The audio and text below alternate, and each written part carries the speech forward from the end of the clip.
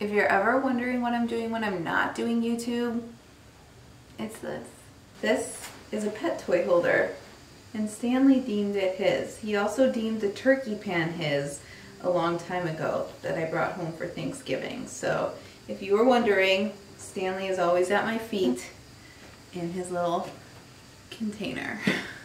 Hey guys, what's going on? If you're new here, welcome. My name is Brittany Nichole and today we are bringing it back to basics and doing a mainly one eyeshadow look. So I have been posting a lot of videos using the Tati palette, which can be a little intimidating, a little complex. The shadows are pigmented, there's a lot of glitter. So I wanted to take it back to basics and create a one eyeshadow look, which is what we're doing today. So quick backstory this morning. I had a bunch of different palettes out. I had a bunch of different brushes out. I was trying to come up with a really complex holiday look for you guys and it just wasn't working for me. I was getting so frustrated. I took my makeup off several times, put it back on. My eyes were red. I was frustrated. I was about to put all my makeup away and say screw it. And then I said, you know what, Brittany?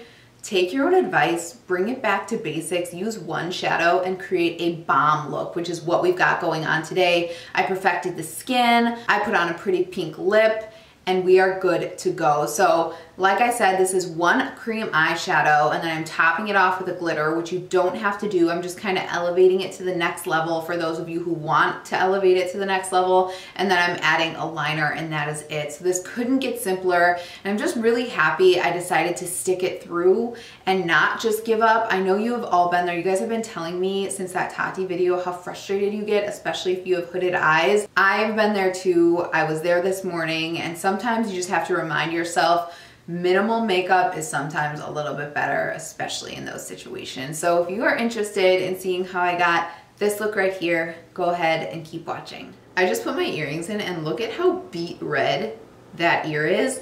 I have the world's most sensitive ears. I had to have my first hole pierced four times until it finally decided, okay, I'll stick around and not close. I had to have the second holes pierced twice before they stayed around. Had my third hole pierced was so uncomfortable. I had to take it out. And then anytime I put an earring in, my ear just becomes like bright red. So ignore that. Hopefully it'll go away throughout the video. All right, first things first, if you want to prime your face, go ahead and prime. I just use my Embryolisse moisturizer when I got ready, so I don't feel the need to do that. When I know I'm going in with makeup right after I'm doing like my skincare, I always use my Embryolisse because it works really well as a primer and then I can just completely knock out the step of priming. But go ahead and prime your face with whatever you're comfortable with and then we're gonna go in with foundation. I'm using the NYX Born to Glow Nude. You guys know I've been so obsessed with this, especially in these winter months when it's a little bit colder. So I'm gonna just grab my Sigma F80 and I'm gonna apply that. I'm really gonna fast forward through most of these like skin steps because I'm doing the same exact routine I did in my everyday makeup routine. So do whatever works for you here, but if you are interested in seeing this like more in depth, go and check out that video. You know the deal, right after I apply my base, I just take whatever's left over on the back of my hand and then I press everything in to make sure we don't have any brush strokes left on the face. I don't know why when I say brush strokes, I have to really emphasize it. Otherwise it turns into like breath strokes. Next up, Too Faced Born This Way Multi-Use Sculpting Concealer in Nude, just a touch under the eyes. I'm also gonna take that right there because I have a little friend right there and I don't use a concealer that's way too light for me. If you do use a concealer that's too light, don't cover any blemishes with that. You'll want to cover that with a concealer that matches your skin tone because we don't want to highlight those little friends.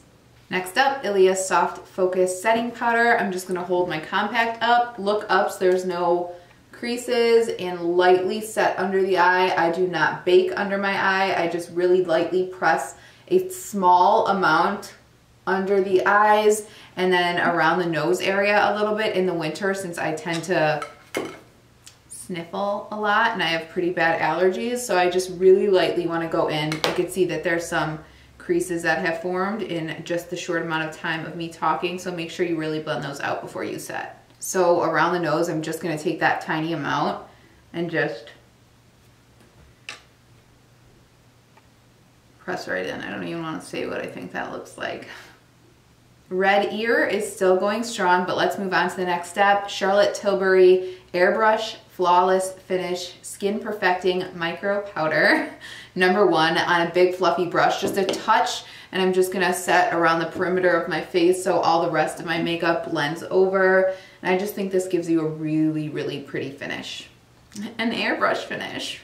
I do avoid my nose though because I have very dry nose in general, so I don't put any powder on there. Otherwise, it looks even more dry than it already is. Next up, bronzer blush highlight. I'm using my Becca Khloé Malika. I have refallen in love completely with this palette. This winter, ignore my eyelids. We'll fix those later. I'm not gonna set them because we're going in with cream products today, but I'm gonna go in with this bronzer and then I'm also gonna take a little bit of my L'Oreal True Match Lumi Bronze It in number one. Like I talked about in that video, I've just been loving these two bronzers together. So I'm gonna apply the bronzer, the blush, and the highlight. Again, if you wanna see all of that in more detail, just check out my most recent, like my everyday makeup. I am following the exact same steps. One thing I do wanna add here though that I don't do in my everyday is contour just a tiny bit. So this is my NYX Three Steps to Sculpt. This is the light version. I'm just gonna take a touch of the contour.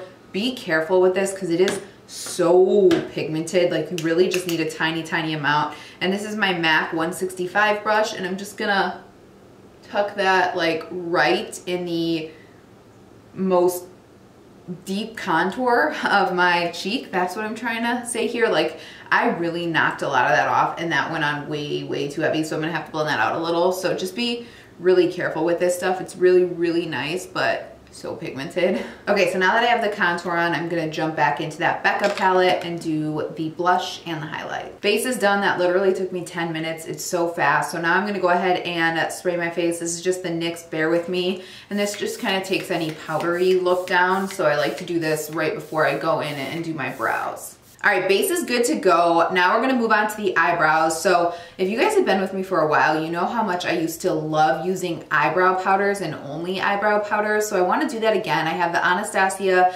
medium brown brow powder and I'm just gonna go in with that. If you've been with me for a while, you know I've been loving the ColourPop Brow Boss in taupe on like the inner portion of the brow and then the Maybelline Ultra Slim on the outer portion, but I just wanna try this and see if I like it. I'm constantly trying new things so then I forget about my old loves, so we'll see how this goes. All right, that was ridiculously easy and I think that looks really good and really soft. Like there's the undone brow and that is just brow powder. So I think we might be switching back to brow powder for a while. And then I'm just gonna set those up with the Benefit 24 hour brow set.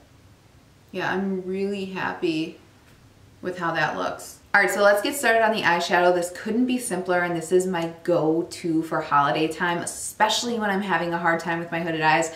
I've been trying to do eyeshadow all day today and it's just not a good shadow day for me. And that happens sometimes. Sometimes I get super frustrated and I'm just like, forget it. My go-to is to use one to two shadows to give me a really pretty, just simple effect. And you guys are gonna love this. So today I'm using the Believe Beauty Glimmer Glimmer Pots, just like I was calling the Tati Shadows Glimmer. Maybe that's where I got this. But anyway, this is the Glimmer Pots Gel to Powder Eyeshadow in Girl Talk. If you guys don't know what Believe Beauty is, it's the Dollar General makeup line and I love so many of their things, especially tried to like mesh too many words into one there, especially their lipsticks. They're like my go-to, but I really like these as well. e.l.f. makes a very similar version. That's actually what I was looking for, like the e.l.f. paint pot type of thing in like the burgundy color, but I must have gotten rid of it a while back when it dried out. So we're gonna use this one today. You could also use the ColourPop Super Shock Shadows. Those work really well. I think I'm actually gonna layer over this because the ColourPop really gives you like a beautiful kind of glitter effect, which is always kind of reminiscent of holiday time. So all I'm gonna do is start to work this right onto the lid. And as you blend these up, I'm just using my Sigma Small Blend from their Practk line, their sister brand. As you blend these up, they just start to like basically create their own crease color. So it's super simple. So when you're having a hard time with eyeshadow, go and just grab one of your cream eyeshadows or just grab one sole eyeshadow and you will be good to go. It takes no time and it gives you a beautiful effect. And anything burgundy for me around holiday time is just like perfect. So Just gonna kind of work this up right into the crease area. If you guys haven't seen, by the way, my favorite brushes for hooded eyes video, check that out. I'll link it down below and maybe up here as well. But I use those brushes all the time. This is one of them. You guys will notice after you watch that, oh yeah, she does use that brush. She does use that brush. That's why she uses that brush. So this is like a multi-purpose brush. I mentioned it in that video. It just gets things on the eyes so easy. You can, you know, swipe with it. You can blend with it. It's a really, really nice brush and it's super affordable. You can also apply these with your fingers as well, which is even more helpful around holiday time when you're traveling and you don't have all your brushes with you. When I'm traveling for work, I always grab at least one cream shadow to just get things on and get out the door. So you see how as I blended the edges here, it almost looks like I applied a crease color, but I didn't.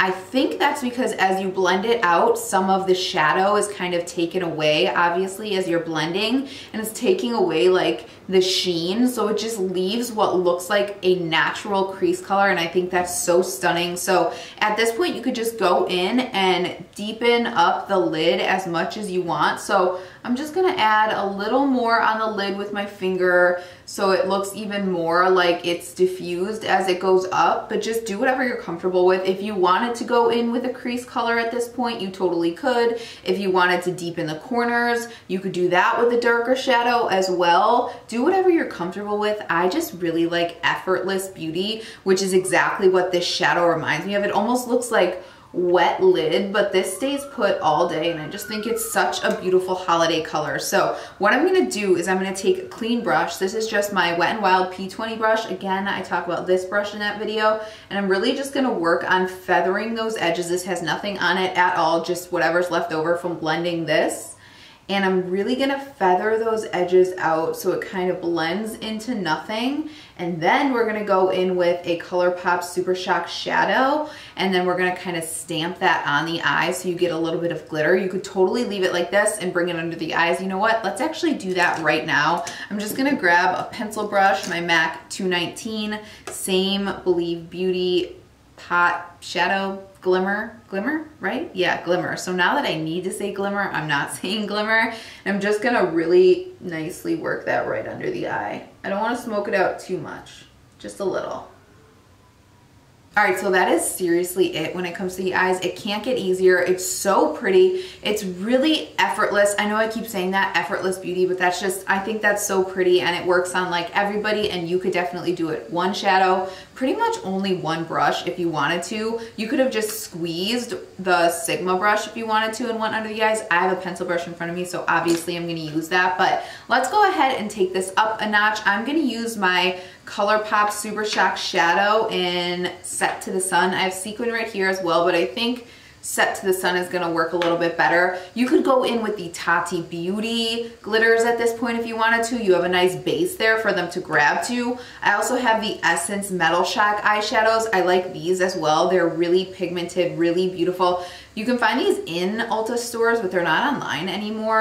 And then if you had the Stila Magnificent Metals, you could go in with that as well. But I personally like, for my hooded eyes, the ColourPop the best. I feel like it stays the longest and it looks the best and it doesn't flake on me and I can blend it without having glitter fall all over. So I'm taking that on my ring finger and I'm gonna just press that all over the lid just to kind of step it up to that like holiday glitter type of look that we all like. But feel free to just leave it at the Believe Beauty Shadow if you wanted to. But like you can see just how much like more glam that makes it with like minimal effort. I love it. So pretty. And I'm really just kind of leaving that on my mobile lid. So my natural crease is like right there and that's pretty much where I'm keeping most of the color. Like when I dip, I place my finger on the lid first and then I'll just kind of tap up so it looks nice and blended. So, so pretty. I love it. All right, I'm even gonna grab my little AOA Studio E134 brush and I'm gonna dip into that ColourPop shadow and I'm gonna work that under the eye as well because I want glitter everywhere right now.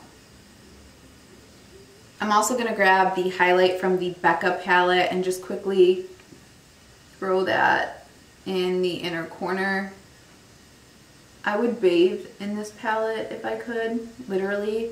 I can't believe I don't have a backup, so I really hope they come out with another version of this sometime soon because it's my absolute favorite. Look at my eyes. They literally look wet. This is two shadows. I, I can't get over how pretty this is. I think it's stunning. So I'm just gonna grab that Wet n Wild P20 once again, and now I'm just gonna blend the edges a little bit. I just wanna make sure that everything is super seamless. You don't have to do this if you don't want to, and if you think like too much glitter is gonna drop down, really it doesn't. I don't know how that Super Shock formula works, but it's amazing. So I'm just gonna make sure everything is really seamless.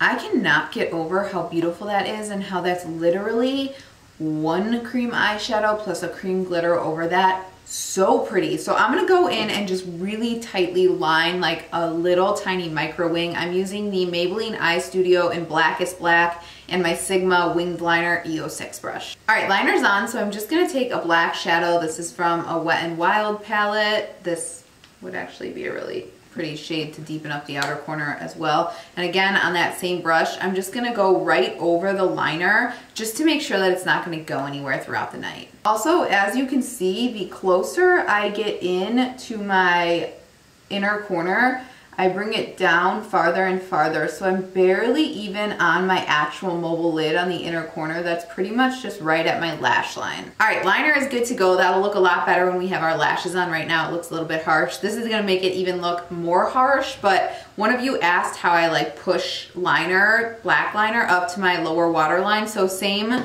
black liner. I'm just gonna take that same Sigma E06 look up and then I just press it right at the lower lash line. And this just makes it look like I have a fuller, once I have my mascara on, it makes me look like my lower lash line is a little more like full.